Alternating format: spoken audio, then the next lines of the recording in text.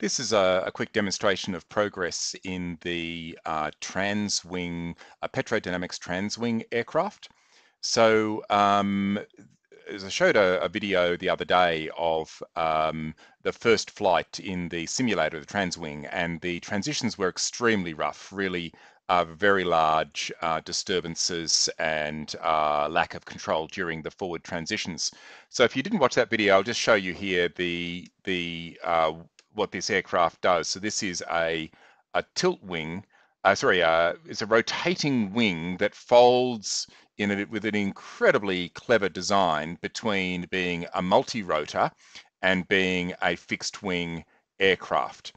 And uh, it makes for an overall very efficient package. So uh, what we're going to be doing, this is going to be the first demonstration of a fully automatic mission.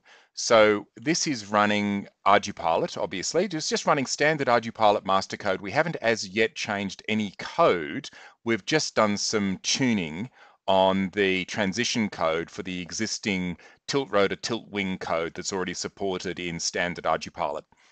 And uh, here's the the path in um, in that it's going to be flying.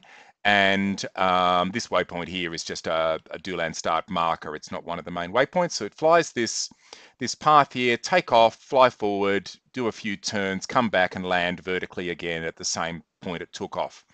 So I'll go ahead and do the do the flight, and you can you'll hopefully see that the uh, control is a lot better than it was um, in the test that I showed uh, in yesterday's video.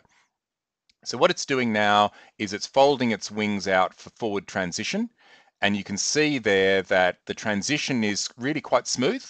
Um, it's very much in control. What you want in an aircraft like this is for the control to be confidence inspiring.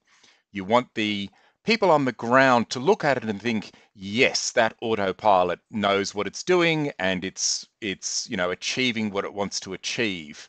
Um, that doesn't necessarily mean the sharpest turns or the fastest speeds. Um, you want it to be efficient and confidence inspiring.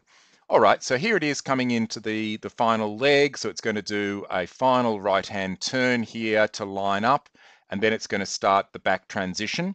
And the back transition is definitely the worst part of this at the moment. So you'll see it coming in here and a little bit of oscillation there. You see some pitch oscillation as it slows itself down, and it doesn't have the advantage of the uh, momentum drag you get in uh, quad planes for the slowdown. It works a little bit differently, and we've definitely got some more tuning to be done on that back transition. But it does come back and land in the same location, and that is entirely repeatable. So um, we're now a lot more confident, and of course, we're going to be, you know, this is only a few days into the project.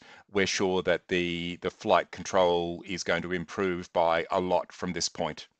So uh, thank you for watching and watch out for more videos in the future.